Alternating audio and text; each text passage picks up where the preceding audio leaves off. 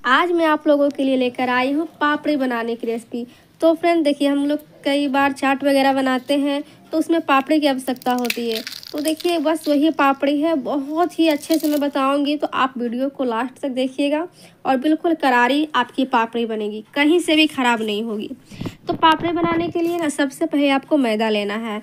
यहाँ पर मैंने ढाई सौ ग्राम मैदा लिया है, यहाँ पर अब डाल दे थोड़ा सा नमक। तो आधा छोटे चम्मच नमक ऐड कर दें। अब यहाँ पर ना आपको डाल देना है चार से पाँच चम्मच तेल।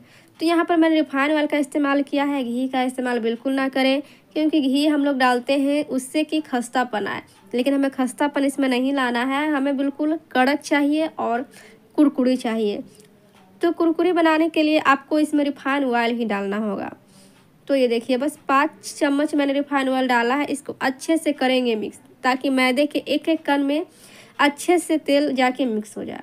अब यहाँ पर नॉर्मल पानी हम इसको डालकर इसका एक डो तैयार करेंगे। तो बस थोड़ा थोड़ा पानी डालकर हमें इसका डो तैयार कर लेना है। तो यहाँ पर देखिए, जब जुड़ने लग जाए ना आटा तो आप इसमें पानी ना डालें। नहीं तो क्या होगा कि वो नरम हो जाएगी। तो बस ऐसे ही मसलते रहें और देखिए, इस तरीके से तैयार हो जाएगी आटा। तो बस अब कुछ भी नहीं करना है। इसमें हम थोड़ा सा तेल लगाकर अच्छे से अब बस क्या करेंगे कि हम इसको ढक देंगे, एक प्लेट से छोड़ देंगे। आधा से पौन घंटा के लिए रेस्ट पर इसको हम, उसके बाद हम प्लेट हटाएँगे और देखेंगे कि आटा हमारा जो है बिल्कुल अच्छे तरीके से सेट हो चुका है। अब इसको क्या करें कि आप चार भागों में इसको डिवाइड कर लें। ये देखिए, अब इसको क्या करना है कि पूरा आपको बेल लेना है। पूरा बड़ा रोटी आपको बेलना है।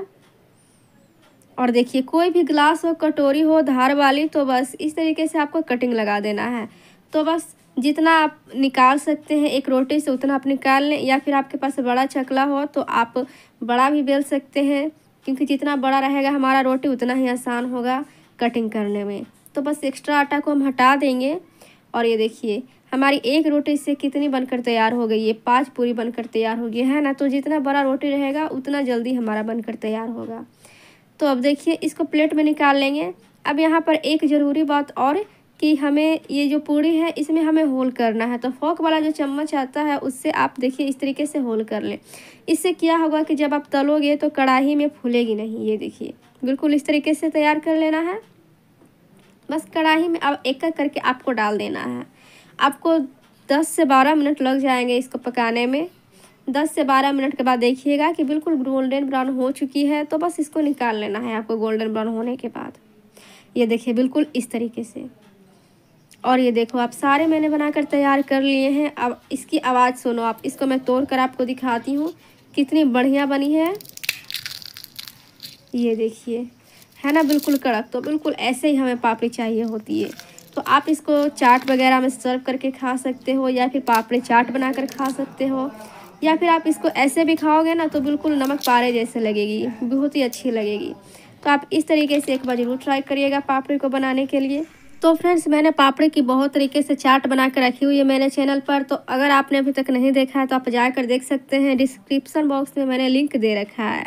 तो फ्रेंड्स, अगर वीडियो अच्छा लगा हो तो प्लीज़ मेरे वीडियो को लाइक कर दें, शेयर कर दें और मेरे चैनल को सब्सक्राइब कर दें।